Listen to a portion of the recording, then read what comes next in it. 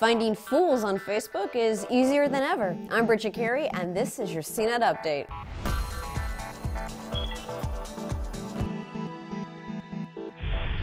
Nintendo announced several updates and new games for the Wii U console. This spring, a software update will add the Nintendo Virtual Console to the eShop. It'll offer classic games from old Nintendo consoles like the NES and Super NES, and the games will cost between $5 and $9.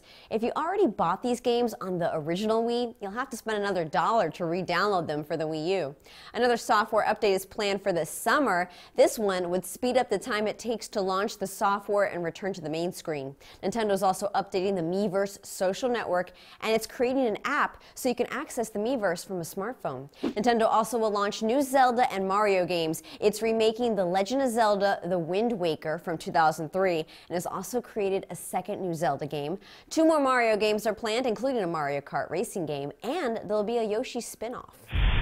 Netflix and YouTube have teamed up to create an alternative system to Apple's AirPlay.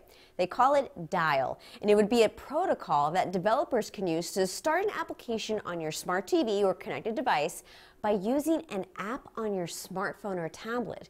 Dial has support now from Samsung, Sony, Hulu, and the BBC.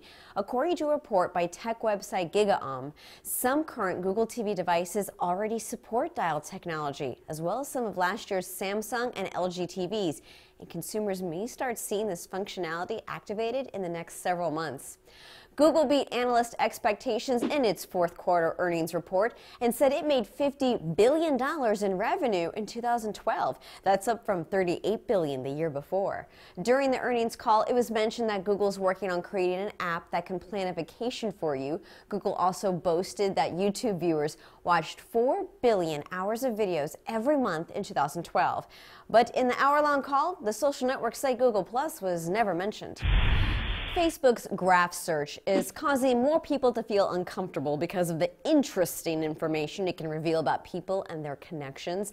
A Tumblr blog showing some of the strange and embarrassing data you can pull up has gone viral. It's called Actual Facebook Graph Searches. One such is a search for married people who at one point said they like prostitutes, or current employers of people who marked that they like racism.